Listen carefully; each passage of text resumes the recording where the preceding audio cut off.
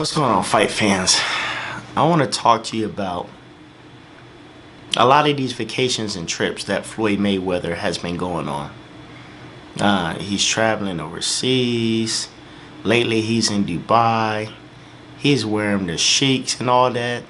Some people accusing him of being switching to Muslim and and being with crazy groups and all that stuff. But you know what? But there's something out of all these vacation spots and him spending these millions of dollars that people are overlooking. And that's over the last three or four months, Floyd Mayweather's main chick. I don't think she's a side chick anymore. I think she's the main chick for Floyd Mayweather. He has a girl, a girlfriend. We did our research, and her name is uh, Jamie Lynn. So the first thing I was thinking was, man, all during the Pacquiao fight, and mm. you know he got rid of Miss Jackson. All we kept hearing about was bad Medina, bad Medina, Medina this, Medina that. She was the ride or die chick, but something happened over the summer that he dropped bad Medina and picked up Jamie Lynn. I'm gonna do some more research on this Jamie Lynn because the only thing I can pretty much find is that she was just an Instagram model that I know of so far. So I definitely got to do some research on this lady, and you know she's flashing her jewelry and and gifts and all that, which I'm assuming came from Floyd Mayweather. Unless she's a successful businesswoman herself, I I don't know. I need to find that out.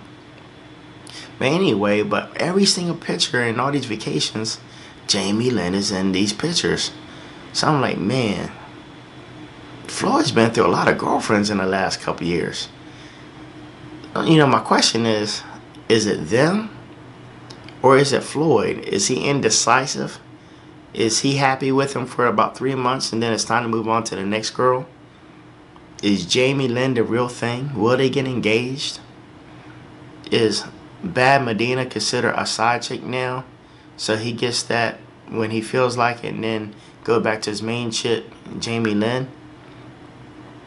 I don't know. I all I know is that there's no hope for Miss Jackson because that's Nelly's mean girl now. And you have to catch Nellyville the next season to see where him and uh if Miss Jackson goes to that next level.